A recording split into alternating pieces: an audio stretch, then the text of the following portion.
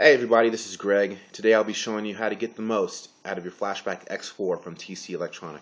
You're going to need a few things. Flashback X4, mine's upside down because it's all plugged in ready to go. A piano sustain pedal. This one is the VFP 1-25 with the reversible polarity switch. And a basic amp channel switcher pedal. First we'll go over the sustain pedal. As you know, it has three presets. Um, I found a way to double that. So we're going to go ahead and plug in the, the pedal and I'll show you my first delay I have set up.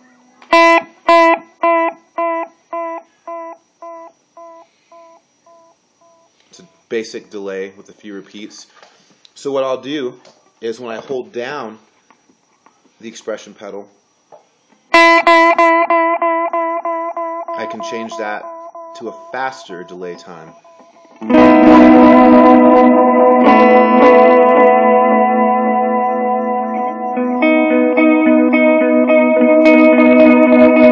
go back and forth like so. You can also use it to oscillate by holding down the pedal and putting the feedback at max, delay time at about 12 o'clock, and the delay level at about 1 o'clock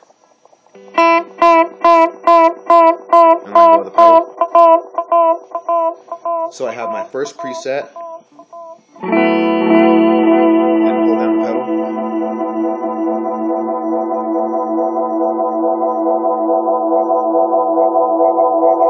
And go.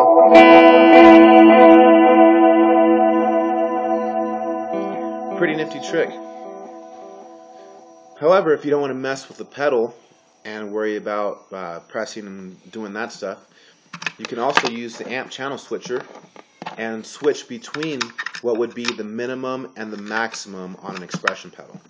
So I have my first delay. Let me turn up the guitar. My first delay.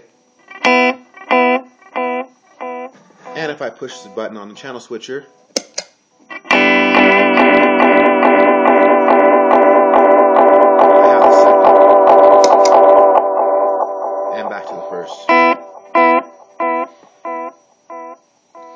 Basically, that'll give you six presets using either the channel switcher or the sustain pedal. Um, why you can't smoothly transition between minimum and maximum like you would with the expression pedal. It's a great tip. Um, that'll give you six different presets as opposed to just the basic three. Uh, make sure you save each preset or else you'll have to start, from, start over from scratch. Uh, that's all I have for you today. Uh, tune in for more reviews and tips later on. Thanks.